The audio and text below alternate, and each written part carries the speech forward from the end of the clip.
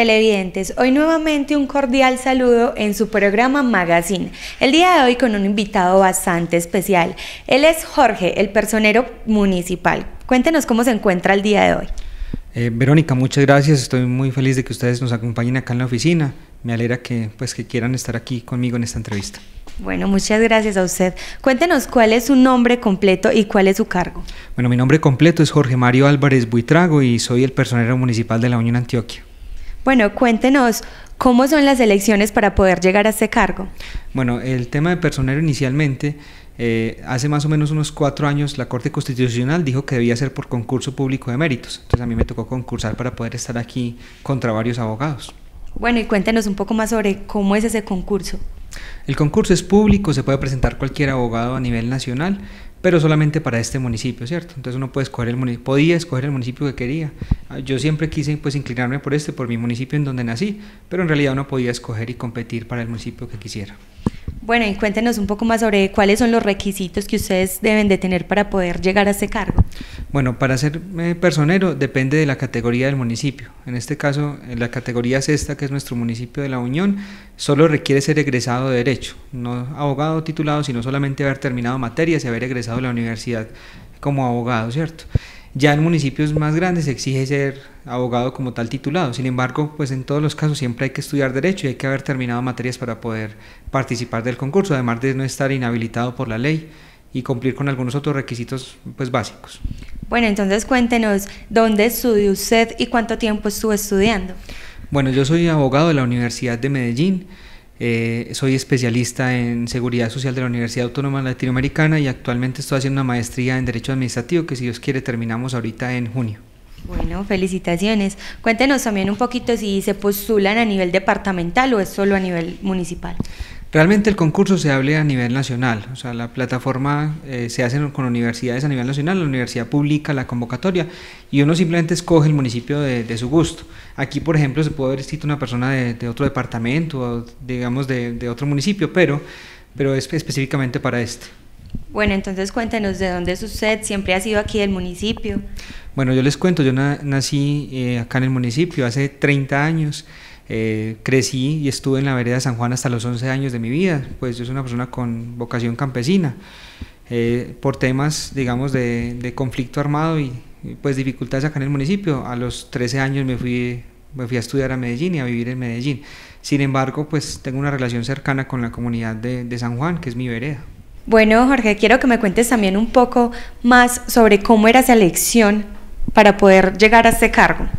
Bueno, la elección es, es, un poquito compleja porque depende pues de varios factores. Uno, inicialmente uno tiene que presentar los documentos, tiene que presentar, digamos, la evidencia que usted es egresado de Derecho o que es abogado titulado, o sea que habría que presentar pues el diploma como tal. Obviamente también se exige, si ya usted es abogado, tener la tarjeta profesional, además tiene que demostrar que tiene antecedentes, digamos, eh, que no tiene antecedentes disciplinarios ni antecedentes con la policía. Eh, hay que ser muy estructurado con la información, ya que eh, pues la universidad que valida si usted cumple los requisitos es la que finalmente decide si usted puede participar de la elección. Entonces a veces es complejo porque si no se presentan los documentos en debida forma, pues ocurre un rechazo y, por temas de tiempo no hay posibilidades pues como de hacer una defensa muy, muy acorde con la realidad. Incluso yo les confieso, cuando me, me presenté la primera vez, yo realmente, pues el concurso duraba, el primer concurso al que me presenté era, era solo por seis meses. Yo estaba pues en en Medellín trabajando y un día llegué a la finca con mis papás y ellos me, dijeron, mire, hay una convocatoria para seis meses solamente para personero. Entonces fue una decisión un poquito como compleja. Y antes de eso, ¿usted en qué más trabajaba? Bueno, yo inicialmente estuve en el área jurídica del Fondo de Pensiones por Venir durante siete años. Eh, después eh, fui apoderado en, el 9PS, estuve haciendo la defensa jurídica del gerente, nosotros asumimos la, la defensa de tres departamentos, Antioquia, Córdoba y Chocó. Eh, cuando estaba en ese cargo precisamente eh, fue cuando, como les decía, vine aquí a la finca, mis papás me dijeron, mira, hay una convocatoria para personero por seis meses. Bueno, y cuéntanos cómo le fue en ese concurso. Esa primera vez fue muy particular porque pues yo pedí permiso en la, en la digamos, en la ciudad de Medellín solo para venir a ese examen.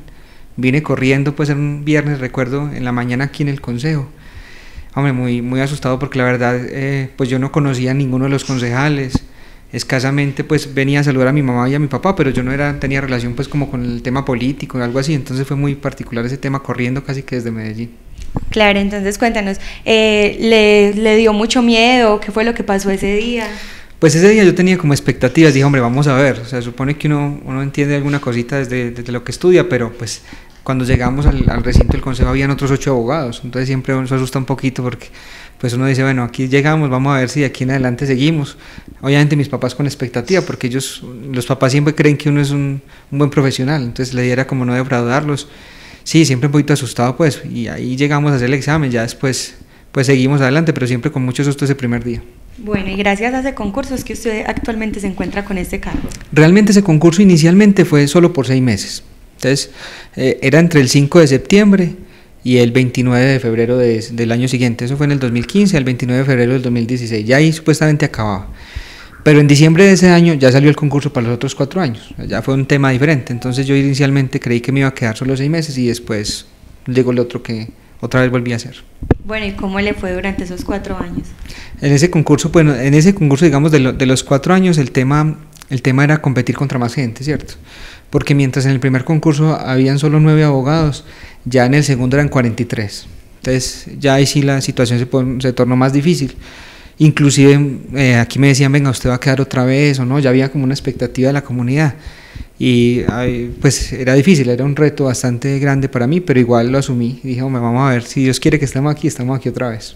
Claro, o sea que la comunidad no tiene que ver con la elección de los personeros. En realidad la comunidad no, la comunidad valida el trabajo de uno y eventualmente digamos, si uno tiene una buena relación con la gente, pues la gente viene y pide ayuda.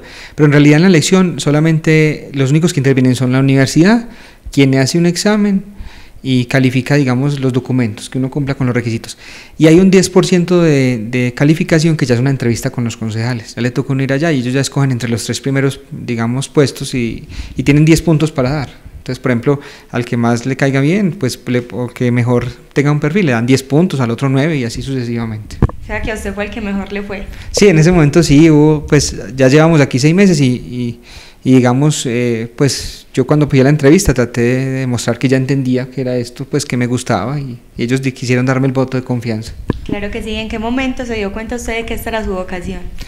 Pues yo realmente llegué, llegué aquí con muchas expectativas. Les cuento que pues cuando llegué, como creí que eran solo seis meses, me fui a vivir a la finca. Entonces imagínense ustedes llegar uno eh, lloviendo en la mañana a veces, yo llegaba aquí empantanado, me limpiaba un poco, pero lo que me conmovía mucho era la gente que me hacía fila desde tan temprano, o sea, aquí había gente que venía casi en esa época desde las siete y media de la mañana a siete ya había gente esperando. Y era la gente humilde con una necesidad, yo dije, no, pues hay que ayudarles, o sea, eso, es una, digamos, uno tiene que tratar de hacer de lo que uno conoce, apoyar a esa gente así humilde que está ahí esperando, a mí me, me conmovió eso bastante. Claro que sí, eso es verdad, y cuéntanos entonces también un poquito sobre qué ha sido lo más difícil de estar en este cargo.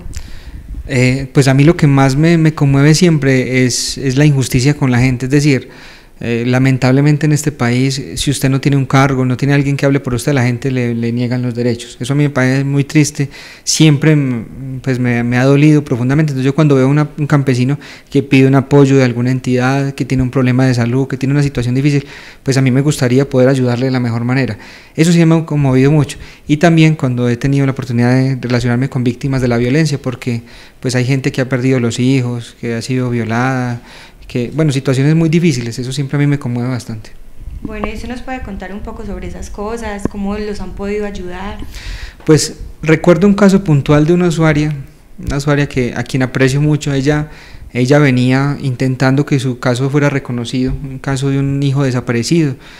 Y por ejemplo con ella, primero fue un tema de escucharlo, ¿cierto? Entender ese dolor que tenía, que es bastante difícil, porque pues ella decía, hombre, a mí nadie me, para, me presta atención.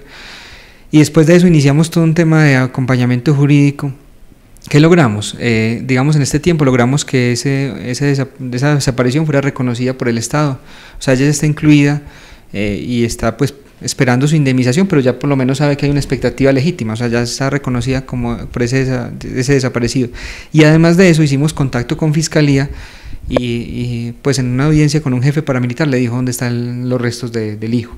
Entonces eso es importante porque ella, por ejemplo, no sabía dónde, estaban, dónde estaba el cadáver y quería darle cristiana sepultura. Y hoy estamos en ese proceso, o sea, es decir, no es rápido, no es a la velocidad que uno quisiera, pero ya hay una expectativa que esta persona, digamos, eh, pues ya sabe dónde están los restos, solo es cuestión de que la fiscalía los exhume y eso, y ya también fue reconocida por el Estado. Entonces son casos que uno, es, es difícil, no siempre se logra, pero hay casos así que uno tiene éxitos con, con las personas. Claro que sí, entonces cuéntenos, ¿ustedes ayudan en sí a toda la comunidad como tal? ¿En qué casos pueden ustedes ayudar a la comunidad? Nosotros en la personería, eh, pues, o hay alguna filosofía, digamos, de vida en particular, yo como profesional, que es, eh, es decir, el no no puede ser una respuesta. Es decir, si aquí llega alguien y, tiene una necesidad, uno tiene que tratar de buscar alguna solución. Como les digo, yo generalmente me retiro de un caso cuando finalmente ya jurídicamente no tengo nada que hacer. Hay situaciones que, por ejemplo, un ejemplo cualquiera, eh, yo no concilio temas de alimentos de menores. ¿Por qué? Porque la competencia en este caso es del, del comisario de familia. Eh, por ejemplo, yo no puedo aquí tampoco hacer audiencias de conciliación relacionadas con el código de policía, pues lo que hace la inspección, ¿cierto? Pero eh, un caso diferente, por ejemplo, si ya una persona eh, acudió a la comisaría, acudió a la inspección, agotó el proceso y no quedó satisfecha, pues hombre, aquí hay que obligar a ayudarle de alguna manera. Es lo que me refiero, como que nosotros recibimos los casos y tratamos de orientarlos cuando a veces hay dificultades. ¿Y eso qué implica? Yo aquí asesoro temas penales, civiles, laborales, de todo tipo y trato a la gente como de orientarla un poco, ubicarla, porque a veces la gente pierde sus derechos es por desconocimiento.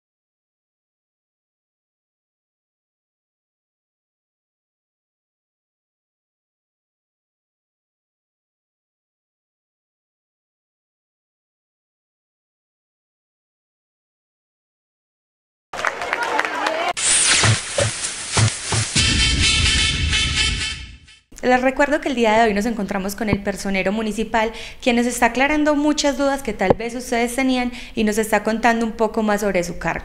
Les recuerdo que si quieren ver este y los demás programas, nos pueden seguir en nuestras redes sociales, en Facebook como CNT La Unión al Día y en YouTube como Canal 8 La Unión. Y si usted quiere participar de estos programas o hacer alguna crítica constructiva, lo puede hacer escribiéndonos a nuestro WhatsApp 319-230-5598. Bueno, personero, cuéntenos también un poco eh, qué más casos ha tenido usted que tratar aparte así de violencia o cosas por el estilo. Bueno, hay un caso que, también recuerdo mucho, es un caso de los menores del, CDI, ¿cierto? El año pasado, eh, lamentablemente, el, el, ICBF decidió retirar varios cupos de los menores que venían con ellos y los redujeron, pues por temas de política de la entidad.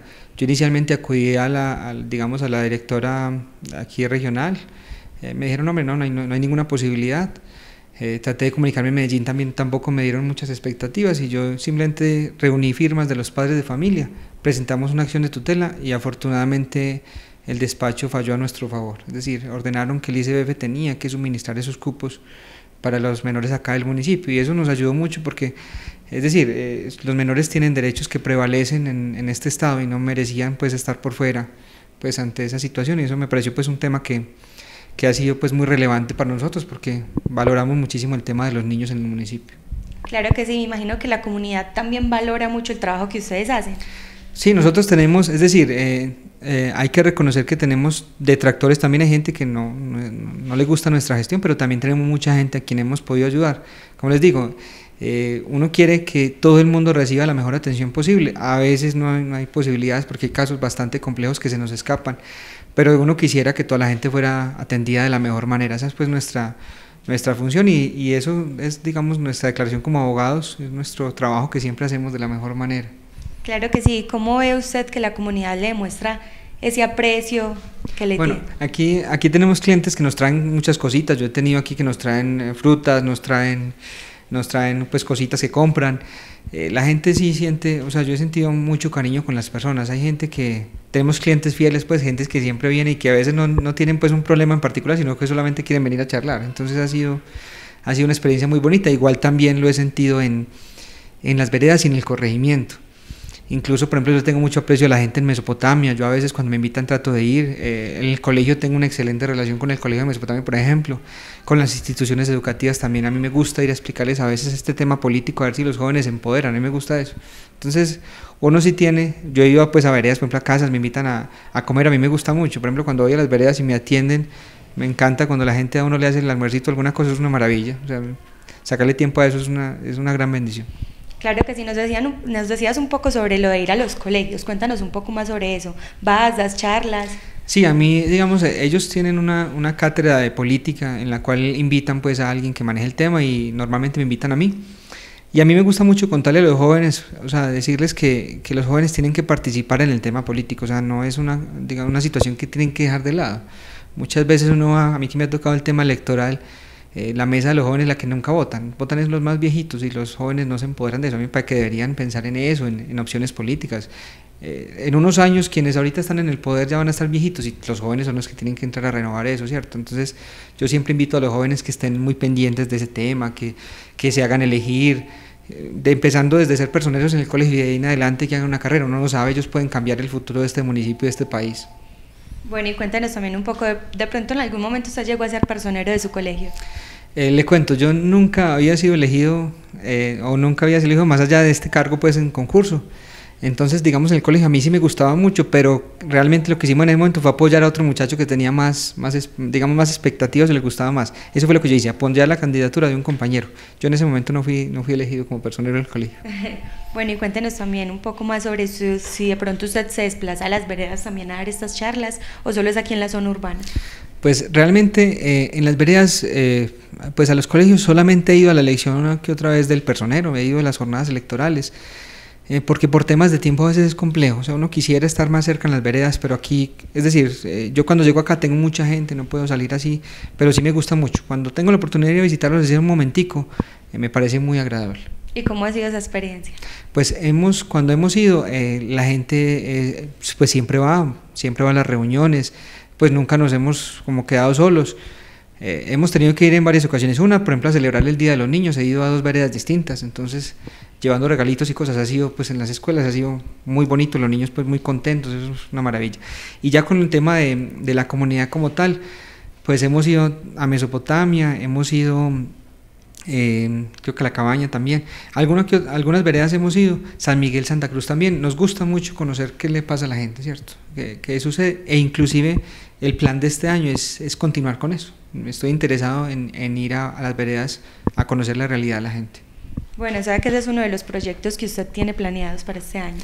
Sí, el proyecto de este año inicialmente Vamos a ir los días lunes de 6 a 9 de la noche a distintas veredas. ¿Por qué colocamos ese horario? Pues porque la gente, la mayoría trabaja, entonces eh, si yo los pongo en el día no pueden, en cambio en la noche es más fácil para ellos, entonces yo me acomodo a eso. Eh, la idea es que vamos a empezar, es decir, vamos a empezar estos lunes de aquí en adelante, vamos a ir primero a San Miguel Santa Cruz, luego a Mesopotamia, luego al Cardal, a San Juan, vamos a hacer ese recorrido y después seguiremos con las otras veredas porque nos interesa ah, pues como abarcar todas las que podamos mientras yo que esté aquí como personero para que para ir allá a conocer cómo está la gente qué les está pasando. Me interesa mucho escucharlos. Claro que sí aparte de ir allá a hablar sobre las quejas que ellos tengan de pronto qué más temas tratan ustedes en esas reuniones igual nosotros cuando vamos a las reuniones no va solamente el personero, sino que yo trato de inventar, invitar a la inspectora, trato de inventar a la secretaria de gobierno, trato de inventar al comandante de policía, o sea, trato de inventar a varias instituciones, inclusive esta última vez vamos a invitar creo que al hospital también para que haya una, como una atención conjunta. Yo pienso que la gente a veces está un poco desatendida por la distancia y por ese tipo de cosas, entonces quiero que la gente reciba un poquitico como de atención. Claro que sí, felicitaciones por ese gran proyecto. Cuéntenos también, aparte de este proyecto, de pronto, ¿qué otros proyectos tienen en mente? Pues en este caso nosotros estamos trabajando ahorita, eh, digamos, la estabilización de la oficina en términos generales. Es decir, eh, me interesa mucho y cuando entreguemos este cargo, temas, por ejemplo, de archivo, estamos trabajando ahorita con una, asesora en temas de archivo para que todo el archivo quede organizado, eso tiene pues unos parámetros legales, estamos trabajando en ello. Estoy trabajando también fuertemente en el tema de procesos disciplinarios, que son las investigaciones contra los funcionarios, porque yo quiero quiero que esos procesos avancen, no quiero que se queden ahí porque a veces la gente dice, hombre, yo radiqué un proceso, no se está moviendo, entonces la idea mía es, es en el transcurso de este semestre terminar o avanzar hasta donde pueda los procesos porque quiero dejar todo como quien dice al día, para poder que cuando termine mi periodo, eh, me queda más o menos un año larguito, eh, podamos entregar bien la oficina. Bueno, cuéntenos ahora un poco más sobre lo que nos estaba hablando de los procesos contra los funcionarios. Bueno, el tema, el tema nosotros, nosotros como personeros tenemos la facultad de investigar eh, a todos los secretarios de la administración. Y eh, esa es como nuestra función principal, eh, digamos secretario de gobierno, secretario de Hacienda, secretario de salud. Esos son quienes nosotros podemos investigar. Nosotros no podemos investigar al alcalde, ni a los concejales, ni a los contratistas. La ley no nos permite eso. La competencia para investigar a tanto alcalde como concejales como a contratistas del municipio es directamente en la Procuraduría. Procuraduría Provincial que queda en Río Negro. Pero por lo demás, eh, nosotros tenemos aquí investigaciones en contra de, algunos funcionarios, eh, tanto de la administración actual como de la pasada, eh, y esa es nuestra función, adelantar los procesos, o sea, que la persona en algún momento reciba una decisión porque a nosotros nos interesa que el funcionario actúe de la mejor manera, ¿cierto? No le vulnere los derechos al ciudadano, que es lo más importante para nosotros. Recuerden, televidentes, que el día de hoy nos encontramos con un especial invitado, quien es Jorge, nuestro personero municipal, quien nos está contando sus orígenes, funciones y todo lo que hace por nuestro municipio. Bueno, don Jorge, cuéntenos también un poco más cómo va el tema de la salud. Bueno, hay una dificultad grande, eh, ustedes saben, a nivel nacional con el tema de la salud y nuestro municipio no es ajeno a esa problemática. Nosotros aquí ah, diariamente estamos haciendo más o menos entre 4 y 6 tutelas en contra de las EPS por un incumplimiento reiterado. Es lamentable porque tenemos gente con enfermedades eh, catastróficas, eh, mucho cáncer, o sea, es una situación muy lamentable. Eso afecta a toda la población en general, eh, entonces estamos muy tristes por eso, porque la verdad el sistema está, está desbordado. ¿Qué hay que seguir haciendo nosotros desde aquí? Tenemos contactos en algunas EPS, o sea que cuando la persona nos trae, digamos, la orden, no siempre hacemos la tutela, sino que a veces buscamos de pronto un mecanismo más rápido que es con la, las mismas directivas de la EPS. Pero entonces es un trabajo, digamos, constante. La situación está bastante compleja. Bueno, entonces cuéntanos también un poco más sobre las tutelas. ¿Cómo van las respuestas sobre eso? Bueno, ahorita, eh, pues antes, antes, hace algunos años, cuando usted presentaba una tutela, con el simple presentación de la tutela, la entidad cumplía casi que de manera inmediata. Hoy, ¿cómo están las cosas? Hoy se hace la tutela, que se demora 10 días hábiles, sale el fallo de tutela, puede ser a favor de la persona claramente y la entidad no cumple. Se espera una semana, la entidad no cumple. Después le colocamos un desacato y ya cuando en el ejercicio del desacato el juzgado sanciona, digamos, económicamente con cárcel al gerente de la entidad, ahí sí cumple. Entonces mire que es un proceso que se extiende, puede extenderse más o menos un mes eh, y, es muy duro porque pues hay gente que necesita una atención urgente. Entonces, aún así con tutela está, está difícil el tema. Claro que sí, bueno, cuéntenos también un poco más sobre el tema de las víctimas. Bueno, el tema de las víctimas, eh, quiero dejar claridad. Eh, digamos, este año la, Presidencia de la República debe, o sea, cada año debe firmar un decreto en el cual define los recursos y cómo se van a distribuir, teniendo en cuenta que pues no existe la capacidad económica para indemnizar a todos al mismo tiempo. Entonces tienen que decir quién va primero, quién va después y firmar un decreto. Eh, yo hace más o menos unos 15 días, pues en mi, en mi ejercicio yo soy el secretario de los 23 personeros del Oriente, entonces yo lo cito cada dos meses al igual que la Procuraduría y, algunos, digamos, otros invitados pues que saben del tema, lo cité pues a, a, Cocorna, hicimos la reunión y citamos también al director de la unidad de víctimas. ¿Cuál es la información puntualmente? Hasta ahora el presidente de la República no ha firmado el decreto nuevo de indemnización. ¿Qué implica eso? Que no se tienen disponibilidad de recursos para indemnizar en este momento. Han llegado indemnizaciones, pues llegaron las que venían con el presupuesto del año pasado, se entregaron unas en enero, pero es, digamos desde enero hacia acá no han vuelto a llegar indemnizaciones. Las que llegaron fueron las de, digamos que venían como el rezago del año pasado, pero de este no hay recursos.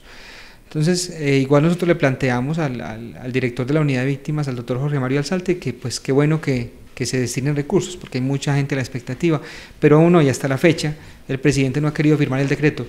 Esperamos que lo firme antes de elecciones, no sé si lo alcance a firmar, y si no ya dependemos del nuevo, eh, digamos, candidato que sea elegido.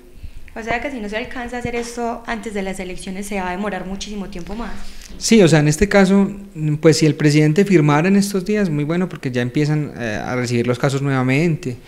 Eh, y la pretensión, de hecho, con el decreto es, es algo que nosotros también consideramos que es importante, que se indemnicen a las personas adultas mayores. ¿Qué edad están colocando? Están colocando que los que irían primero serían los mayores de 75 años y las personas con enfermedades terminales como cáncer, esos serían los que irían primero. Eh, pues a mí, a mí me parece que es viable, porque mm, es decir, el joven pues puede esperarse un tiempo, pero el adulto de pronto es la única oportunidad y yo les confieso, aquí, aquí por ejemplo un cliente, eh, a pesar de que ganamos la tutela que ordenaba la entidad que les pagara la indemnización, se me murió esperando el cumplimiento de la tutela. Entonces ya, ya, teníamos eso a, favor. Bueno, ahí no se puede hacer nada si esto pasa. Lo triste del tema es que las indemnizaciones por víctima no se heredan.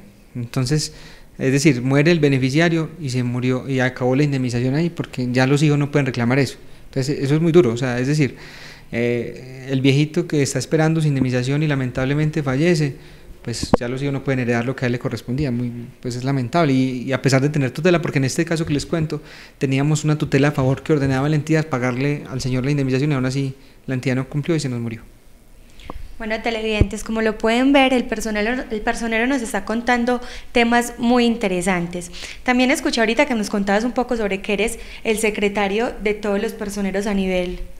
Sí, nosotros eh, pues hacemos la función de secretario de los 23 personeros del Oriente. En realidad es una función más, más como con el nombre. No es que yo haga pues de secretario o haga funciones algo así, sino que se denomina de esa manera. ¿Cuál es mi función en realidad? Es eh, estructurar las reuniones y plantear los temas que se van a tratar. Eh, en esa subcomisión de justicia transicional que así se denomina el Oriente, cada dos meses estamos, digamos, por la ley, obligados los personas a reunirnos. Entonces a mí me toca organizar la reunión, cuadrar el tema de invitados, tener la gente ahí pendiente. Y entonces tengo contacto pues como con las autoridades del departamento y nos interesa mucho que se direccione bien el tema de víctimas. O sea, ese es el interés principal de nosotros. Porque en los municipios a veces la gente pues con mucha expectativa y nos está ayudando. Entonces nos interesa citar la gente, que dé la explicación del caso, es lo que buscamos con eso. Claro que sí, entonces ahora le invito a que le haga una invitación a todas las personas a que vengan aquí a poner sus quejas y que usted les aclare que están pendientes de lo que ellos necesiten. Ah, bueno, sí, lo, más importante eh, cuando pues que la comunidad conozca, nosotros aquí desde el trabajo que hacemos queremos ayudarlos a todos. A veces, a veces, sí les soy muy sincero también, ustedes dirán, bueno, el personal a veces no, no está, ¿qué pasa? Lo que pasa es que nosotros... Eh, pues en la calidad de personas nos somos citados a cualquier cantidad de reuniones. Ustedes no se imaginan, yo semanalmente tengo reuniones en, eh, digamos acá en el municipio, aquí hay mesa de infancia y adolescencia, eh, mesa de adulto mayor, mesa de salud mental, mesa de equidad de género, o sea, algo así como hay, hay, trabajo en todos los aspectos y supuestamente en todas debería estar yo. Es decir, yo alguna no voy porque no tengo tiempo, pero entonces imagínense ustedes distribuir entre esas mesas, eh, entre las reuniones que nos programa la Procuraduría, entonces a veces es difícil, pero si yo estoy aquí y los atiendo, créanme que les quiero ayudar con lo que necesiten. O sea, el tema es poder apoyarlos porque me interesa que tengan una atención de la mejor manera.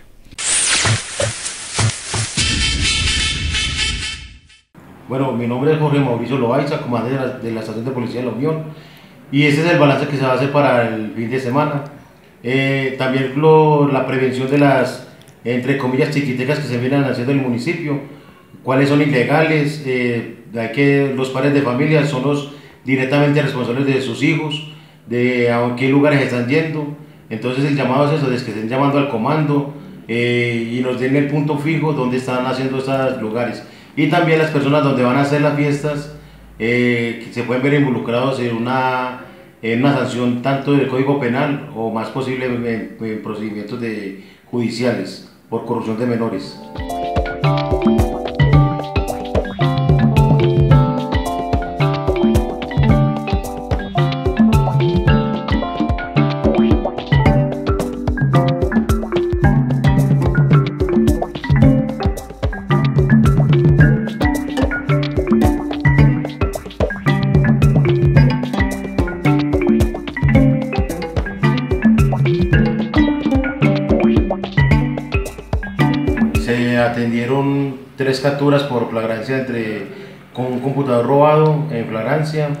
Eh, un hurto a, residencias y otro por telefonía celular móvil hurtada.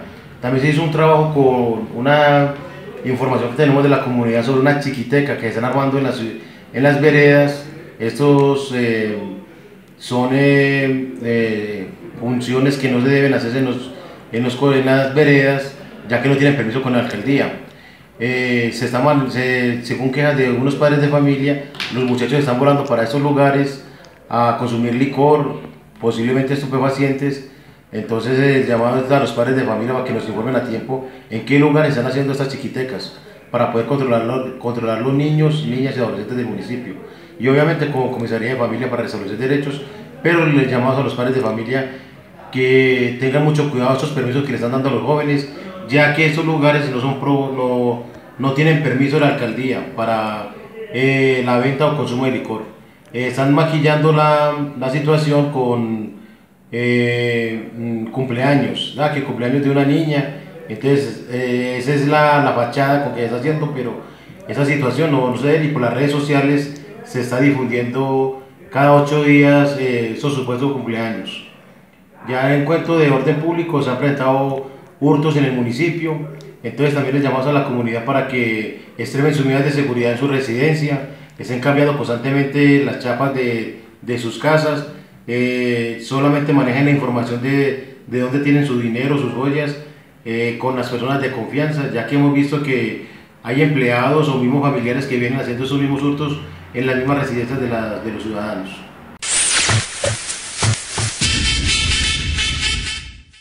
Televidentes, quiero invitarlos a que nos sigan en nuestras redes sociales, en Facebook como CNT Unión al Día y en YouTube como Canal 8 La Unión. Y si, se, quieren comunicar con nosotros lo pueden hacer a nuestro número de WhatsApp 319-230-5598.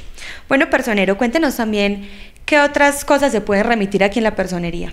Bueno, también es una invitación a la comunidad. Nosotros, pues como les decía en un principio, eh, somos, yo soy especialista en seguridad social, en pensiones. Entonces también si alguna persona en la comunidad quiere alguna asesoría respecto al tema pensional, con todo gusto. Nosotros incluso aquí, pues totalmente gratis, o sea, esto aquí es totalmente gratuito. Hemos asesorado a varias personas, inclusive eh, pues en, dentro de lo que llevo en el cargo hemos sacado cuatro pensiones. Cuatro pensiones que a la gente le ha servido mucho, pues porque pues eso les permite tener una mejor calidad de vida. Entonces si alguna vez alguien tiene una inquietud respecto a ese tema, con todo gusto yo les reviso, miramos la historia laboral, miramos cómo están los tiempos de cotización, eh, yo les puedo decir en qué fondo es mejor para el tema pensional, entonces les hago una asesoría integral en pensiones para que ustedes pues tengan una expectativa legítima al respecto y sepan también cómo van con ese tema pensional. Bueno, y si alguna persona quiere alguna asesoría, pero por aparte, también la puede hacer. Sí, también es una invitación, de todas maneras, eh, aquí como personero al sector privado, si alguien conoce pronto una empresa y quiere que que yo dé una capacitación sobre pensiones, con mucho gusto. Yo tengo organizada una presentación que, que, suelo hacer, ya la hice aquí pues para algunos funcionarios de la administración, entonces la tengo ya estructurada, no es sino que me inviten desde sus empresas o que le propongan a sus empleadores que me inviten, que yo con mucho gusto organizo una capacitación para todos los empleados de la empresa, eh, llevo pues como la información para que ustedes la conozcan desde las empresas y también sepan cómo se maneja el tema pensional, que me parece también, digamos, una forma de ayudar a la comunidad.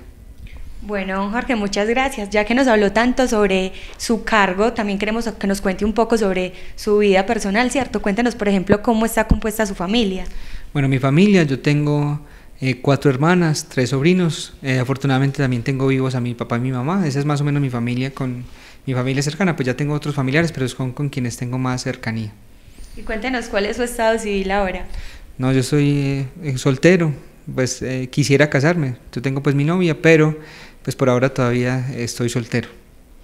Bueno, entonces cuéntenos con quién vive, de pronto con sus padres, vive solo. Sí, yo actualmente vivo con, con, mis papás, es decir, yo cuando estaba en la ciudad no vivía con una de mis hermanas, pero ya desde que regresé acá, pues estoy con mis papás y con una de mis hermanas vivo actualmente. Somos cuatro personas que vivimos en, en la casa.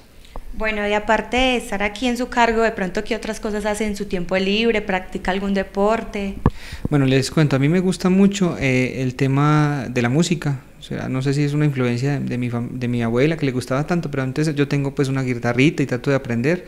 Me gusta mucho la música, Soy, pues me, me hace muy feliz. Yo, por ejemplo, cada vez que veo aquí en el parque que tocan música popular, parrandera, ese tipo de cosas, yo, me gusta. Me parece muy bonito cómo suena eso. Eh, siempre he creído que hay gente que tiene habilidad, yo solamente soy un aficionado, no es, bueno, decir que un concierto o algo así, pero, pero sí me gusta mucho. En la casa yo tengo todos los, tengo el instrumento, tengo el micrófono, tengo el bafle, tengo todo, a mí me gusta también sacarle tiempito a eso. Bueno, cuéntenos también de pronto si tiene algún plato favorito. Bueno, con el tema de comida, mm, como alguna vez eh, yo le, le, decía a la gente, a mí la única comida que no me gusta es la poquita, toda la comida me gusta, entonces con eso no tengo problema. La verdad, me, lo que más me gusta en realidad es cuando voy al campo y me dan comida tradicional, es decir, cuando la gente a mí me saca un platico de cualquier cosa, la gente cocina muy bueno, entonces yo contento con eso. Claro que sí, cuéntenos de pronto también si ha estado, aparte aquí a nivel departamental, dónde más ha estado, dónde ha paseado, si ha salido de pronto del país. Bueno, la verdad, hasta ahora no he tenido la oportunidad de salir del país, es decir, estoy haciendo el trámite, el tema de la visa para poder emigrar a otro país. Aquí, pues, me encanta ir a, a la costa, Cartagena me pone una ciudad hermosa, yo allá cuando voy soy feliz. Eh, conozco también Cundinamarca, eh, todo el tema de Casanare, los llanos orientales me parecieron increíbles, pues cuando fui por allá, porque pues uno está enseñado montañas toda la vida, ya en esos planes pues eso fue una sorpresa. Y, y al igual Boyacá, pues fui también a conocer un poquito el tema de, de quién del tema del puente Boyacá, el pantano de Barrio, este tipo de cosas. Entonces ha sido pues una experiencia muy bonita, he recorrido pues como varios departamentos. Y el interés ahorita es casi que salir del país. Vamos a en estos días a tramitar todo ese tema para salir del país. Bueno, claro que sí. También de pronto cuéntenos, por su profesión me imagino que le gusta también leer mucho. Ah, bueno, sí, nosotros pues con este tema de, de, estudio nos ha tocado leer constantemente, pero a mí, por ejemplo, particularmente me gusta leer otras cosas, no soy como el que solamente lee derecho y, y esas cosas, ¿no? A mí me gusta leer otro tipo de obras literarias, no, no solamente derecho pues como tal. Bueno, y en el momento de pronto está leyendo alguna. Pues el, el, el, último, el último autor que leí o el último libro que leí es uno que se denomina El Cementerio de Praga, es un libro ahí sobre, sobre un tema de eh, digamos, de, de, alguien que, habla sobre eh, falsificación de testamentos, alguien que empieza a falsificar cosas y yo me sorprendo mucho porque, hombre, cómo utilizan la falsificación para convencer a un gobierno, para convencer a, pues, a tanta gente y el tipo se disfrazaba de un sacerdote por un lado y por otro lado se, disfrazaba de comerciante, era una misma casa en que compartía una puerta y hacía las veces de comerciante y sacerdote, una cosa muy chistosa, empieza a falsificar y hace una tarea muy particular. Entonces a veces sí, te dedico tiempo la, a la lectura de ese tipo de obras literarias, a veces tengo tiempo. Bueno, y ya que ese libro se escucha tan interesante, cuéntenos si de pronto nos puede recomendar algún libro. Eh, pues el, libro que yo recomiendo o el que más me gusta es El nombre de la rosa. Es un libro de, de Humberto Eco, es un libro de, la Edad Media, es bastante extenso, pero una vez le saca tiempo y ahí el tipo describe pues cuál es el tema del, texto y por qué se llama así incluso. Describe el nombre de, un monje que, va, digamos, a un convento, se enamora de una muchacha, eh, el tipo estaba muy joven pues, eh, tiene un romance con ella, pero nunca le pregunta el nombre. Entonces por eso dice el nombre de la rosa. No sabía ni cuál era el nombre de la muchacha, pero igual él cuenta la anécdota cómo era el tema de la Inquisición, cómo era el tema de, los monasterios en esa época. Entonces es un tema pues que uno si quiere saber sobre el tema de Edad Media, ese sería un buen libro para, para saber del tema. Bueno, ahora también recomiéndenos de pronto qué lugares podemos visitar aquí en el municipio que de pronto a ustedes les gusten bastante. Pues les cuento, yo aquí en el municipio, eh, pues ahorita con ese tema de lo del avión, allá me parece que es un lugar interesante para quien le gusta ir a mirar todo el tema donde se, tuvo ese lamentable accidente, pero es bueno conocer. Obviamente también el presidio me parece muy bonito. Yo cada vez que voy allá me parece pues espectacular. Yo tuve la oportunidad también de subir al, al, Alto de San Miguel, también ese lugar es muy bonito, aunque hay que sacarle tiempo pues porque son casi tres horas subiendo, pero a quien le gusta el tema de la naturaleza es un lugar muy bonito. E igual todos los paisajes que tiene este municipio, todas las veredas yo pienso que son, son hermosas, hay que descubrirlas todas y ya pues como en temas de, de comida, para que este tema de lácteos Buenavista pues para que uno tiene alguien que le gusta el tema de quesos y vinos, es un lugar excelente y todo el tema pues aquí pues de la gastronomía aquí local me parece pues casi toda muy buena. Bueno, Jorge, y por último, denos una recomendación a toda la comunidad para poder vivir en armonía en nuestro municipio. No, yo lo que le sugiero a la gente es que, es que traten de, de solucionar los conflictos. Si ya no se entienden, pues, eh, mm, es decir, por ejemplo, si es una pareja, pues si no se entiende, hombre, déjese. No afecte la, la, calidad de vida de sus hijos. Las peleas se tienen que resolver de la mejor manera, no afectando también, no utilizando, digamos, a los hijos como un escudo. Igual si usted también tiene pelea con un vecino, trate de mejor discutir. A veces la gente se va a lo, a lo, peor que es a las amenazas y nosotros lamentablemente respondemos muy mal a veces. O sea, la idea es como tratar de solucionar esto porque ya la vida es compleja. O sea, todos tenemos dificultades y que encima además tenga uno que pelear con todo el mundo. Me parece que es como, no debería ser así. Hay que llegar a buscar soluciones. amigos y acompañada del psicólogo Julián que se encuentra desempeñando su cargo acá en el Hospital San Roque, queremos saber acerca de esa opinión, de esas recomendaciones que tiene él como profesional para todos ustedes, no solamente para los televidentes que nos están viendo y que tienen familia, sino también para esas madres que están de pronto pasando por un embarazo o que obviamente ya tienen sus hijos o que tal vez están pensando en un posible embarazo. Así que televidentes, pegaditos por favor de nuestro programa Así Somos para que conozcan mucho más acerca de la gestación de la maternidad, para que conozcan obviamente de todos los cambios hormonales, de todos esos cambios emocionales y físicos que también vive una madre, para que ustedes estén alertas y por supuesto para que sepan afrontar esta situación que pasa por su vida o que obviamente en algún momento la tendrán que vivir si así lo desean. Recuerden seguirnos por nuestras redes sociales, en nuestra página de YouTube como Canal 8 La Unión, en nuestra página de Facebook como La Unión Comercial y Turística y también nos pueden escribir a nuestra línea de WhatsApp al 319-230-5598. Doctor, continuando contigo, ¿por qué no hablamos acerca de esas estimulaciones que le debería de dar una madre a sus hijos cuando se encuentra en su vientre? Muy bien. Eh, digamos que eso corresponde a una esfera que se llama la estimulación prenatal, es decir, antes del nacimiento. Eh, por lo general está muy orientada como con algunos estímulos suaves que puedan ser agradables para el bebé. Sabemos que el sistema nervioso del bebé aún no está completamente desarrollado, por lo cual obviamente él eh, no va a diferenciar en los términos que digamos lo hacemos nosotros, qué está pasando, pero el hecho de ir recibiendo ya ciertos estímulos, pueden ser auditivos, como un radiecito, en algunas ocasiones eh, se plantean estímulos eh, un poquito, digamos, luces, unas linternas, incluso los masajes, irle conversando al, al, bebé que se está desarrollando en el vientre de la madre, pues eso el estímulo ayuda, ¿cierto? ¿Por qué? Porque, digamos, va a preparar más a la personita que van a hacer para el repertorio de estímulos al cual se va a ver enfrentado cuando, digamos, salga del cuerpo de la mamá. Pero una parte muy importante es que mientras la mujer saca un buen espacio de tiempo, con cariño, para ir haciendo estas actividades, acariciar su vientre, hablarle al bebé, digamos que se va a ir fortaleciendo mucho más el vínculo de la madre con el bebé, ¿cierto?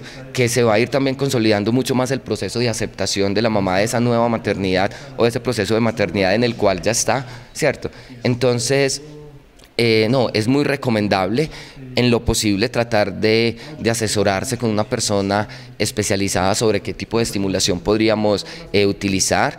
Si vamos a hacer actividad física, es muy importante también eh, que nos informemos acerca de qué ejercicios sí podemos hacer. Recordemos que El embarazo no es una enfermedad, pero es una condición con la que hay que tener ciertos cuidados porque evidentemente, como lo hablamos en el recorrido de toda esta entrevista, pues hay ciertos cambios que es importante tener en cuenta.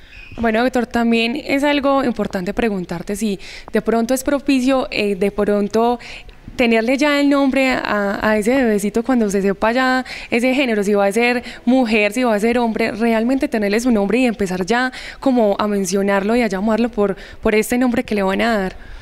Bueno, hay algo que es muy importante. Recordemos que cuando se conoce que hay un proceso de gestación, inmediatamente, pues bueno, hay una nueva vida que se está desarrollando para venir al mundo, pero también esa información empieza a digamos, a tener una incidencia en la mente de la mamá y el papá. Ellos empiezan a hacer planes, proyectos, qué ir a hacer. En la cultura en la cual vivimos, digamos que es algo que se puede ir conversando, mirando a ver hasta qué punto es conveniente o no, pero todavía se mantiene mucho la costumbre de que entonces los niños los asociamos con un color muy específico, las niñas, entonces muchas mamás eh, quieren saber, listo, cómo la voy a llamar, cómo le voy a organizar, el, por así decirlo, el rinconcito donde la voy a acomodar. ¿Qué pasa con el nombre? A mí me parece que es importante porque, digamos, de una u otra forma, el nombre nos ayuda de alguna forma a desarrollar la relación de identidad con nosotros mismos. Entonces el hecho de que ya nombren a una personita que aún no ha llegado, pero que irá a llegar, pues pensaría uno que de pronto anticipa de manera favorable ese terreno para lo que se va a encontrar eh, posteriormente. En lo personal, no veo como dificultades siempre y cuando, primero, haya sido producto de un, de un proceso de comunicación y de diálogo, no sea que la mamá quería un nombre y el papá otro y que cada que recuerden el nombre se nos pongan a discutir. Esta es una sugerencia muy respetuosa, si bien cada mamá y cada papá escogen sus nombres, es un llamado a, tratar de escoger nombres, eh, ¿cómo decirlo? No nombres muy extraños, no nombres con un significado, digamos, por allá muy lejos de la cultura en la que nosotros estamos, porque tenemos que pensar que van a ser esos hijos los que van a tener que cargar ese nombre el resto de la vida y que en muchas ocasiones los nombres se prestan para charlas, para juegos. Si bien eso siempre pasará, pues hay unos nombres en los que eso es más factible que ocurra que con otros. La conjugación de esos nombres con los apellidos, porque en ocasiones uno no capta y sale eh, una frase que no puede ser la más agradable. Entonces tratar de pensar en eso. Si bien pueden ser cosas muy triviales, pues el niño o niña que nazca y que cargue el resto de su vida con ese nombre es el que va, digamos, a sufrir esos efectos. Entonces, más allá de lo que conversamos, no, pensaría que no hay dificultad.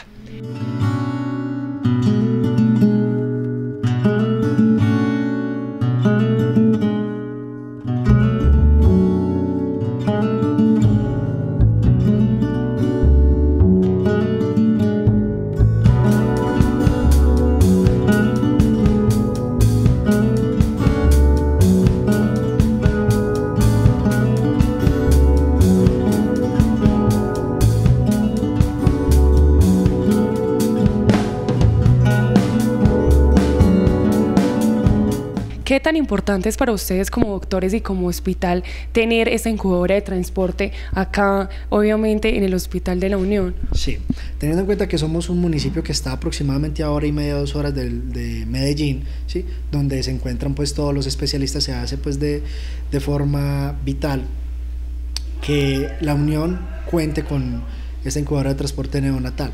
No solamente para beneficio de, toda la población y de los niños. Recordemos que estamos como en la mitad de una vía donde viene gente de Argelia, Sonsón, Nariño, Abejorral, que probablemente no tengan este tipo de tecnología y que dadas las eventualidades o las complicaciones que puedan tener, pues generalmente puedan entrar acá y nosotros poder eh, de pronto tener ese servicio de acompañar esa vida. Recordemos pues que nosotros no nos, nos, debemos al municipio de la Unión, pero nos debemos más a la salud humana, a cualquier persona que requiera el servicio. Las instituciones públicas y más específicamente la institución eh, hospitalaria San Roque es una institución de puertas abiertas a las personas que tengan alguna enfermedad y requieren de los servicios de nosotros. Entonces, eh, es de vital importancia que para nosotros tengamos pues por lo menos los métodos y los, los medios para sacar adelante un paciente que pueda venirse prematuro, que pueda venirse con alguna enfermedad, no solamente de la Unión, sino como les digo, de cualquier municipio aledaño que de pronto esté pasando por acá. Es importante que sepan que nosotros hemos atendido casos donde pacientes que vienen em, complicados desde Sonsón, Argelia, han tenido que entrar a este hospital que también es de primer nivel, que no tiene pues la mayoría, que tiene igual de condiciones que el resto de hospitales públicos de primer nivel, pero que incluso aquí hemos tratado pues de estabilizar esos pacientes y ayudar que durante su traslado pues lleguen a, a, donde tengan que llegar. Muchos de esos eventualmente han muerto, desafortunadamente por la gravedad de sus complicaciones, estoy hablando de pacientes adultos, ¿sí? No de pacientes neonatos que hayan tenido que usar la incubadora, pero eventualmente puede suceder y pues que es gratificante para nosotros como institución poder contar con ese recurso. Doctor, ¿y qué impacto ha causado este proyecto acá para toda la comunidad unitense? La idea principal del, de mejorar no solamente con la incubadora de transporte neonatal, sino con el talento humano y todos los insumos y equipos biomédicos de la sala de partos, es precisamente generar esa confianza a las maternas unitenses que sepan que nosotros contamos con todos los medios para garantizar una adecuada atención de su trabajo de parto o, del proceso. Es interesante ver cómo eh, las maternas confían en nosotros para todos sus controles prenatales, que básicamente son el pilar fundamental de un adecuado trabajo de parto, pero de pronto al momento de atender el parto no tienen la misma confianza de venir a, nuestra institución, ¿sí? Entonces, eh, mejoramos la parte de controles prenatales con una médica que después ya tiene su recorrido en todo lo que tiene que ver con controles prenatales y manejo de ese tipo de personas, que nos está haciendo unas historias clínicas muy adecuadas, una evaluación excelente que les está dando todas las recomendaciones signos de alarma a las maternas, que les está mostrando la calidad en la atención, pero eh, desafortunadamente al momento de ellas tener su parto prefieren otras instituciones que muy probablemente ni siquiera tienen convenio con su EPS y que las van a atender por la última ¿sí?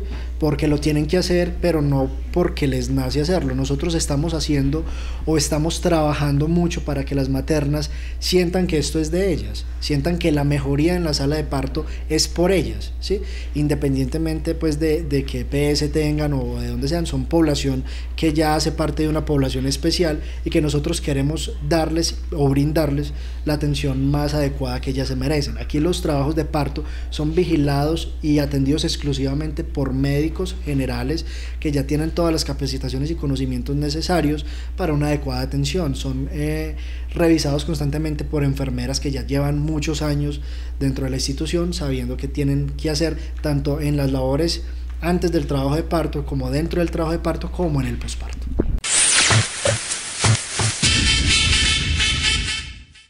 Don Jorge, primero que todo hay que agradecerle a usted por habernos atendido y regalarnos un poquito de su tiempo y explicarnos y darnos a entender muchas de las dudas que teníamos el día de hoy. No, gracias a ti, Verónica, al canal de televisión por querer estar aquí conmigo en la oficina. Me parece que es valioso que la comunidad conozca qué es lo que yo hago. Y créanme que el mayor interés mío en el espacio en que me quede de tiempo en esta oficina es que la gente reciba la mejor atención posible. Yo quiero irme de este cargo pues como con la tranquilidad que hice por lo menos algo por alguna persona y salvar la vida a alguien en algún aspecto jurídico, para mí es muy valioso. Claro que sí, muchísimas gracias. Televidentes, entonces también es invitarlos a ustedes a que si tienen alguna queja se pueden presentar aquí, ya que como han visto, tenemos un gran personero y él les va a atender todas sus quejas. También quiero decirles que lastimosamente ya llegamos a la parte final de su programa Magazine.